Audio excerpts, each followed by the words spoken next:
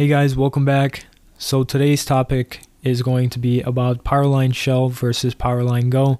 Most of you guys probably already know what these are, but if you don't, it's basically when you pull up a terminal and you see the prompt right here, it basically kind of makes it look a bit better.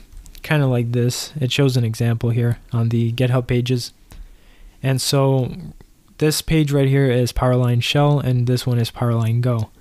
So I'll be leaving the links in the description if you want to be installing them and trying them out. But yeah, so first I'll try Powerline Shell, kind of show you how it looks, how to customize it, all that type of stuff. And then I'll show Powerline Go and kind of talk about the, main difference between them.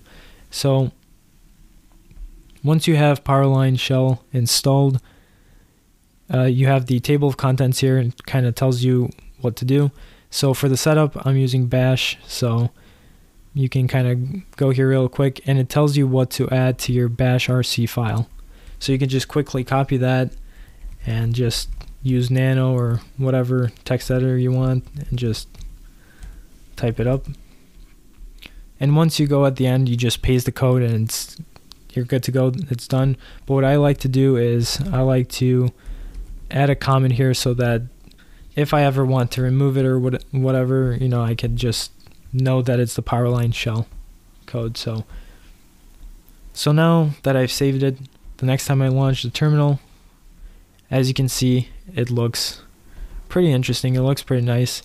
Now, before I get ahead and talk about customization and all that type of stuff, the main difference that I would say between this and Powerline Go is the response time as you can see as I press enter and you would assume it would be even slower if I'm actually typing things up.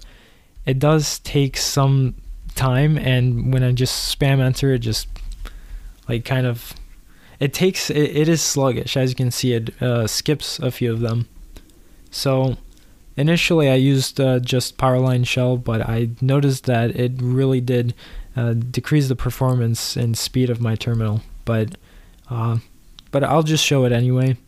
And I'll show the difference between this and Powerline Go um, really soon. So right here we have the customization. So if you want to generate the default customization or the default config file, uh, it shows the code that you have to paste in the terminal. And if you take a look at the at my config file, if, so yours by default, if you try it out with the default config file, it's going to look different.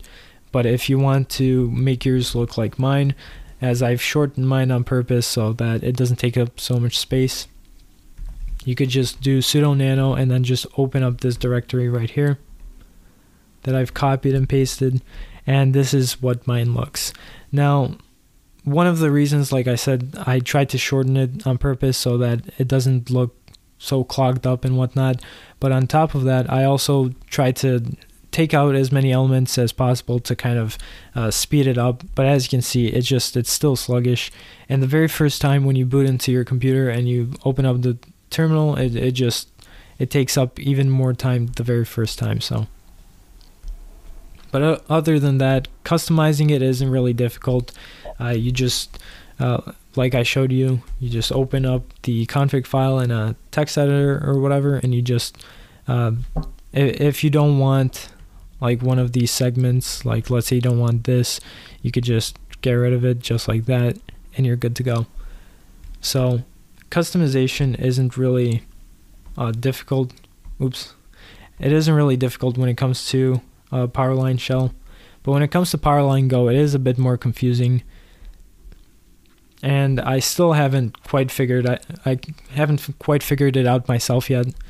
Uh, but yeah so we'll take a look at Powerline Go real quick. So once you install it, and uh, I'm using Bash, so it's basically a similar piece of code here that you have to go to your Bash RC file, and then just scroll to the end. So it's pretty pretty easy to switch between the two. Just remove the code and just paste the according code.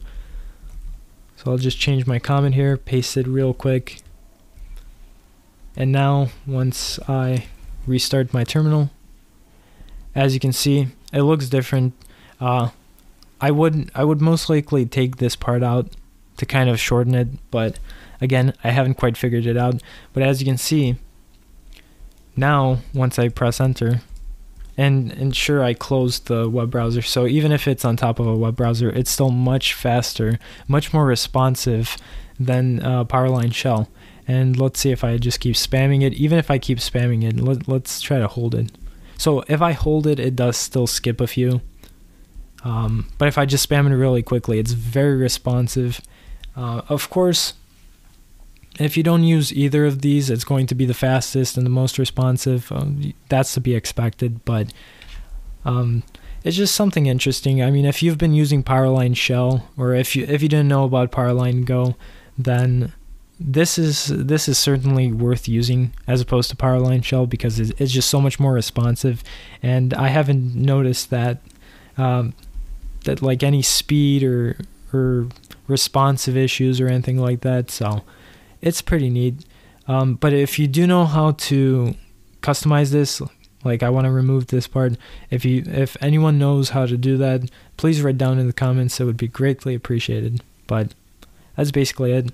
I definitely would recommend Powerline Go over Powerline Shell, despite the fact that Powerline Shell has better, uh, easier customization. So that was basically it. Thanks for watching, and I hope you enjoyed the video.